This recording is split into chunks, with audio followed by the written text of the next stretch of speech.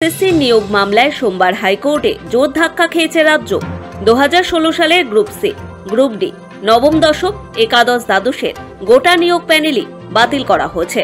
আদালতের এই রায়ের ফলে কাজ হারাচ্ছেন প্রচুর শিক্ষক ও শিক্ষাকর্মী। এদিকে লোকসভা নির্বাচন চলছে রাজ্যে। হাইকোর্টের নির্দেশে যাদের চাকরি চলে যাচ্ছে, তাদের মধ্যে অনেকে ভোটকর্মী হিসেবেও নিযুক্ত হয়েছেন। তাদের যদি চাকরি চলে যায়, তাহলে ভোটকর্মী হিসেবে কাজ করবেন কারা? স্বাভাবিকভাবেই এই প্রশ্ন উঠতে শুরু করেছে।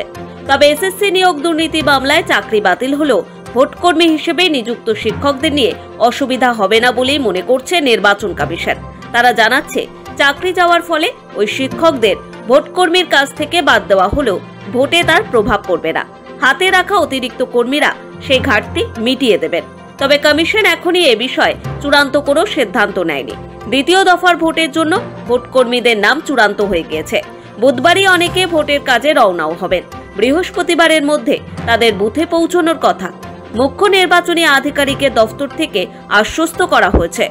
প্রয়োজনে রিজার্ভ ভোটকর্মীদের ব্যবহার করা হবে। কোনো অসুবিধা হবে না বলেও জানানো হয়েছে।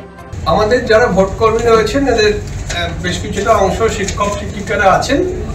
কিন্তু আমাদের মোট যে ভোট কর্মীরা থাকেন, যেটা যারা ভোট করতে যান, তার টোটাল আমাদের পোলিং স্টেশন যা রিকোয়ারমেন্ট আছে, তার ওয়ান টোয়েন্টি অর্থাৎ একশো কুড়ি শতাংশ থেকে একশো পঁচিশ শতাংশ নির্বাচন করা থাকে, অর্থাৎ পাশে রাখা থাকে, যাদের মধ্যে twenty two twenty five percent reserve থাকে যে ঘটনার কথা আপনারা বলছেন, সেখানে যদি কিছু কর্মীরা যদি আসতে না পারেন, সেক্ষেত্রে রিজার্ভ থেকে রিপ্লেস করে দেওয়া হবে। তবে এরই মধ্যে হাইকোর্টের নির্দেশকে চ্যালেঞ্জ করে রাজ্য সুপ্রিম কোর্ট থেকে স্থগিতাদেশ আদায় করতে পারলে সেই ঝামেলা আর থাকবে না।